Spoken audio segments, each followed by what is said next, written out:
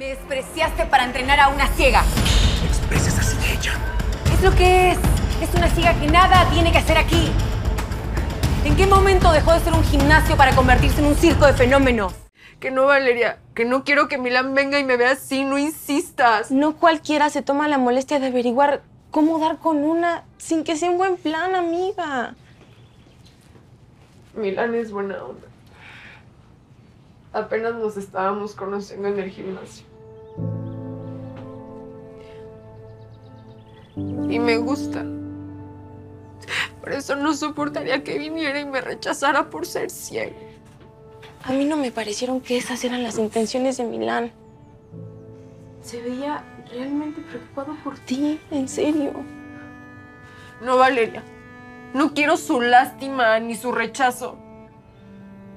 No. Está bien, amiga.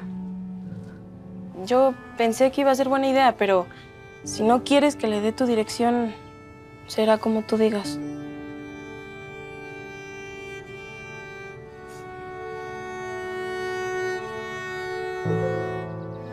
¿Listo para ponerle peso ya? Después de este... Buenos días. Soy la mamá de Indira Cadena. Vengo buscando un entrenador que se llama Milán. Claro que sí, señora. Muy buenos días. Mire, ¿es el que trae ahí la playera gris? Es él. Muchas De gracias. nada. ¿Milán? Hola. Hola. soy Cecilia, la mamá de Indira. Mucho gusto. Mucho gusto. Supe que Indira tuvo un accidente. ¿Cómo está? Mal. A causa del accidente, mi hija perdió la vista. Y vine a buscarte porque me enteré que has estado preocupado por ella. Sí, señora. Lo que yo pueda hacer para ayudarle, cuente conmigo. Mi hija está deprimida. Y yo que soy su mamá, tengo que hacer lo que sea para que ella sea feliz. Milán, ¿me acompañarías a verla? Por supuesto. Voy a avisar que se me presentó una emergencia y la acompaño ahora mismo. Muchas gracias. Muy bien. Eso. ¿Y esa ruca con la que Milán se está yendo, quién es? Llegó preguntando por Milán. Creo que es la mamá de Indira. La muchacha que le gusta. Pero ahí va volado a ver a su adorable tormento. Maldita resbalosa. Pero no me va a quitar al hombre que yo amo. Les dije que no quería que viniera Milán. Algo me dice que la presencia de Milán va a ser muy buena para ti, mi amor. ¿Mm? Los dejo para que platiquen. ¿Mm?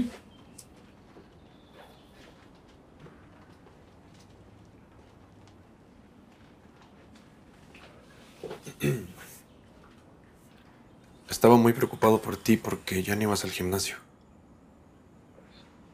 Me muero de la vergüenza de que me veas así. No tienes por qué. Para mí tú sigues siendo esa chava linda y buena onda de siempre. Con la que me la pasaba increíble cuando ibas a entrenar al gimnasio.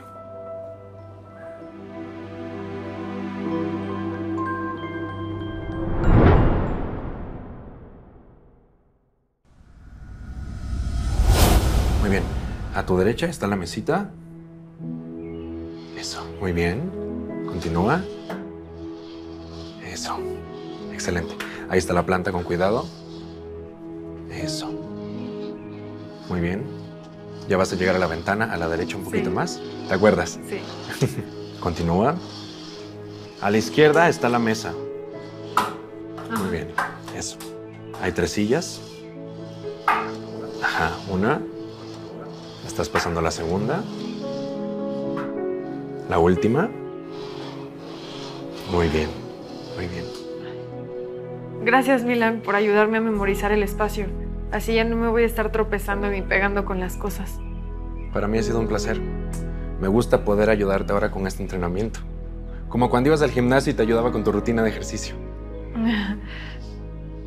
Eh, Sala, ¿verdad? Sí.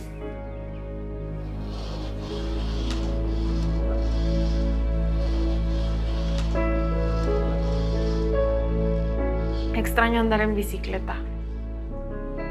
Hacer ejercicio en el gimnasio. Pero son cosas que ya no voy a poder hacer nunca. Yo creo que sí puedes seguir haciendo ejercicio. Volver al gym. No lo creo, Milán. Estoy ciega. Ya no puedo andar en mi bicicleta, ni estudiar para ser doctora, y mucho menos ir al gym a hacer ejercicio. Te aseguro que sí puedes seguir entrenando en el gym. Yo puedo estar a tu lado para que hagas tu rutina, te acompañaría al área de pesas, te acercaría a las mancuernas. A mí me parece una idea genial. Tu ánimo ha mejorado mucho desde que Milán viene a visitarte. Y pienso que no perderías nada intentándolo. Yo estoy de acuerdo con tu mamá. Es más, yo te puedo llevar todos los días al gimnasio y así vas retomando poco a poco tus actividades. ¿Qué dices? ¿Aceptas? Está bien, acepto intentarlo. En la Escuela Nacional de Ciegos ofrecemos la oportunidad a las personas invidentes para que estudien y se preparen como especialistas técnicos en masoterapia. Si conoces a alguien que pueda interesarle, compártele este video y que nos visite para darle todos los informes. Milan, te la dejo para que retome su ejercicio. La dejo en buenas manos, señor Arturo. Y no se preocupe por la salida que yo llevo a Indira a su casa. Ok. eh, ¿Estás de acuerdo con eso, hija?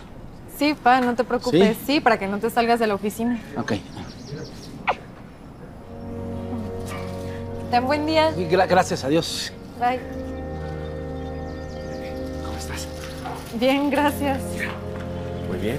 Ajá, ¿sí? ¿Eso? Sí. Todo está bien. ¿Te acuerdas del gym? Más Sí. o menos. La, entrada es estrechita. Mira, eso empieza muy bien. Aquí a la izquierda está Pablo. Bienvenido nuevamente. Hola, Pablo. Hola. Muy bien. Ahora sí, vamos a ver el gimnasio. ¿Ya lo hueles? ¿Hueles el gym? Sí, aquí hay.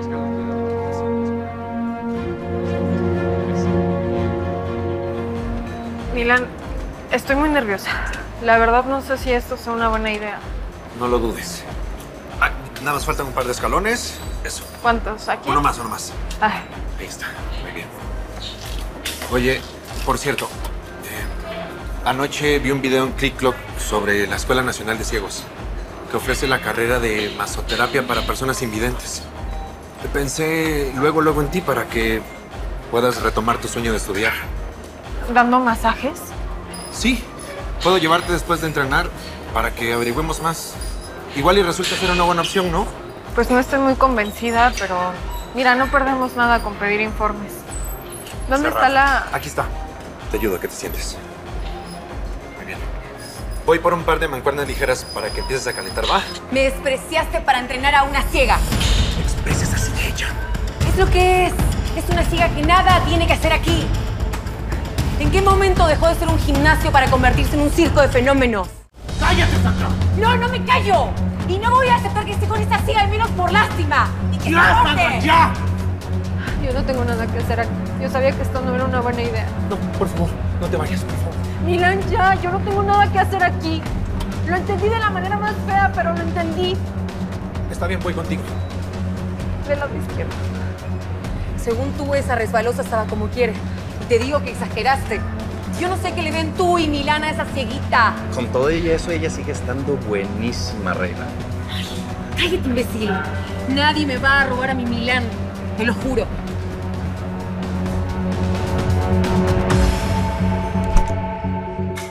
No tienes que escuchar a nadie. Y menos a gente tóxica como Sandra. Ella ya no es nada mío y no quiere aceptarlo.